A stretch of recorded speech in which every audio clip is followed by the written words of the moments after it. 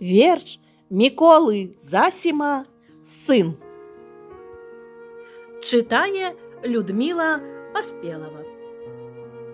Аднаго сына маці мела, Яна і ён, уся сям'я. Як вока так яго глядзела, і толькі ім адным жыла. І рос, як ягада хлапчына, рукой да чуба не дастаць. Як печ шырокімі плячыма, з вачамі нібы мора гладь.